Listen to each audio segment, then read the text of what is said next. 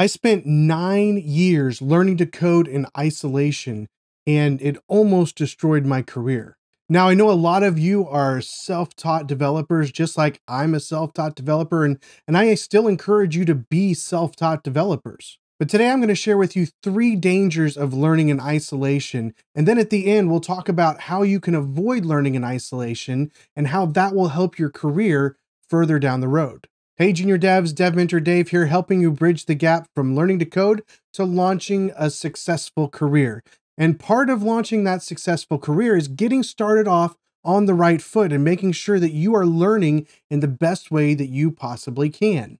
Now, as I said at the beginning, I'm a self taught dev, and so I know many of you are teaching yourself coding through tutorials, through YouTube videos, and things like that. And that's a really good way to learn. But if we're not careful, we can end up becoming isolated in that learning process.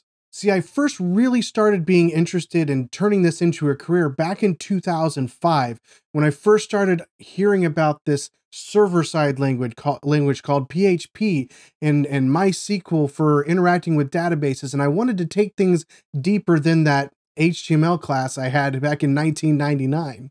So from 2005 until about 2011, I did a lot of learning and a lot of growing and a lot of testing and a lot of writing code and a lot of building applications and a lot of building websites and trying to learn uh, new things like Joomla and WordPress and things like that. Then in 2011, I had the opportunity to actually do my first real big freelance project for a company, and I did that for almost three years. But at the end of those three years in 2014, I reached a breaking point. See, the contract that I had to work on that project was coming to an end, and I didn't have any idea where my next job was going to be. In fact, I didn't even know for sure if I was worthy of working in a real development shop. Everything I had done had been based on my own learning. So I realized that even though I'd learned a lot and I'd been able to do some pretty cool things, in my opinion, working in isolation has some really big downsides. So, the first danger of learning in isolation is that it decreases your exposure to new ideas and new concepts. Now, that may sound weird because obviously everything that I was learning was brand new, but I was learning stuff that was old compared to everything else that was going on in the industry. Because I wasn't interacting with other people, I wasn't socializing with other people in the development world, I had no clue about things like version control. So when I actually thankfully got that first job and heard about Git and I had no clue what it was. I had to go research it and I started actually interacting with with team members, with other developers and I was able to see, hey, there's a whole lot of other things that are just kind of standard practices that I don't really know and don't really understand. And I had to learn a lot of things that most developers who'd gone through some sort of class or some sort of schooling with other people, they already knew those things. It was just part of the way that they did work. And so, because I had done all of my learning in isolation, I really wasn't prepared as well as I could have been to take that first job. It's not because those things didn't exist, it's just because I didn't know to look for them. I didn't know they were out there. And so, I never really had the opportunity to learn them because I was not aware of them. So, learning in isolation decreases your exposure to new ideas and new concepts. Hey, thanks for letting me be a part of your developer journey. We're in the process of building a community where junior developers can grow their skills and take that next step in their career. So if you're finding this content helpful, would you help me get this message out to more people by clicking the like button? And if you're not subscribed, click the subscribe button and the bell icon so you get notified the next time I upload a video or the next time I go live, which is every Saturday at 10 a.m. Central United States time. Also, don't forget you can take your involvement with the Dev Mentor Dave community to the next level by joining our Discord server via the link in the description. Thanks again for your help, and I'll let you get back to the video. But the second danger to learning in isolation is that it decreases your exposure to constructive criticism. Now, believe me, I got plenty of criticism as a developer as I was learning on my own in isolation. In fact, part of that time I actually worked for my brother, and I got plenty of criticism from my brother as to when things didn't work quite the way that he wanted them to.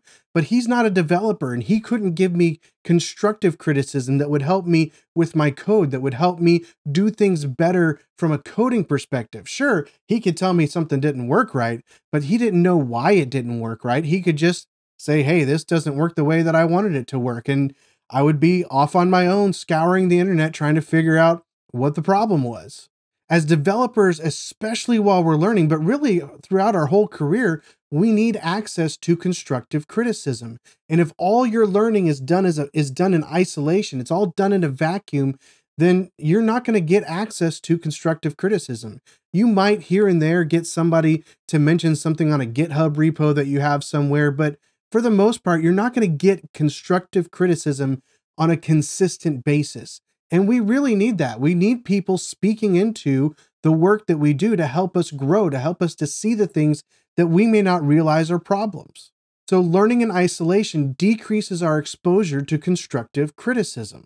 And lastly, and most importantly, learning in isolation decreases our exposure to support and encouragement.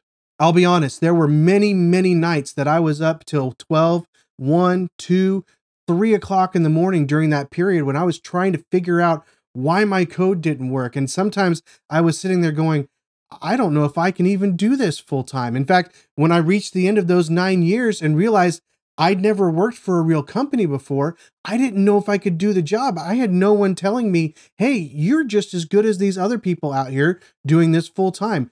I had no clue until I actually thankfully got into a real job with other developers and was able to look at how I did things and look at the abilities that I had to compare to what they were. And then I realized, yes, I can do this. But until I had that, I could have just quit.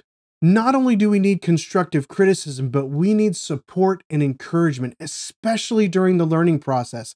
That's why I love working with junior developers because there's so much to learn and it's so frustrating and it's so difficult but it's so cool to see that light bulb turn on and realize hey you're getting it and and give that support and give that encouragement. That's what you need. You need constructive criticism yes. You need the ability to learn new things yes.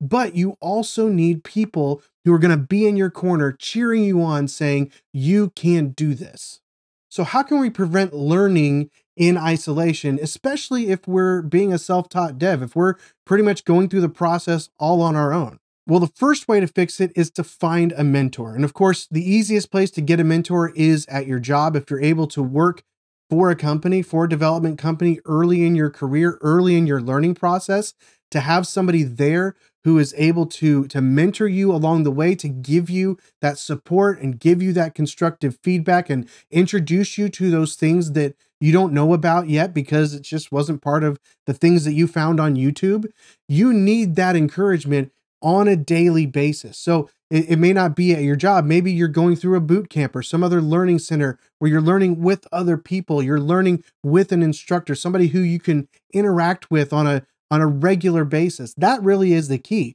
You need see somebody in your life that you can interact with on a regular basis. It's going to give you those things that you're going to miss if you're just doing it in isolation. If you don't have access to a teacher or a mentor or somebody like that, then just work on projects with other devs. Don't work on projects all by yourself.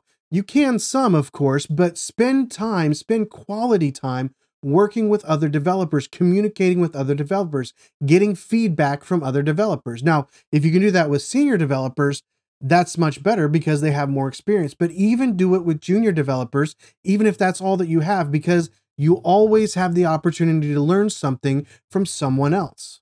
And of course, if you don't have that, you can join the project that we're doing here, the Deep Pockets Project, and you can join the Discord channel via the link in the description of this video that's exactly why I created this channel. That's exactly why I created the Discord server is because I wanted to create a place, a community where junior developers can feel safe, but where they can grow outside of isolation. Yes, we have to spend time on our own practicing and working, but if you do that completely in isolation, you're going to reach a point where eventually you think you can't do the job.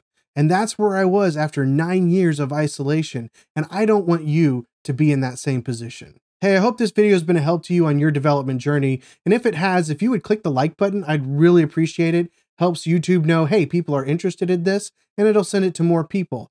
And if you're not subscribed, hit the subscribe button, click the bell icon to be notified the next time I go live or the next time I upload a video. I'll see you on the next one.